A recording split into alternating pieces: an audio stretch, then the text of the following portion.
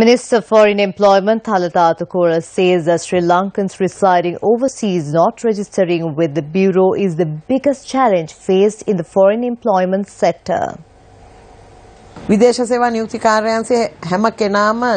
not everyone registers with the Foreign Employment Bureau when they go for overseas employment. That is the biggest problem we have at hand. Those who have registered have done so at their respective divisional secretariat for the welfare of their families.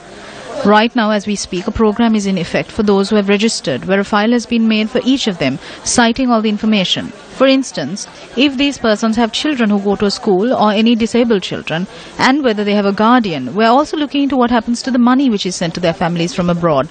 All of this is done amidst much hardship. වලට මොකද වෙන්නේ මේ සම්බන්ධයෙන් දැනට වැඩපිළිවෙලක් පටන් අරගෙන ක්‍රියාත්මක වෙනවා. ඊටාම අමාරුවෙන් තමයි කරන්නේ. මොකද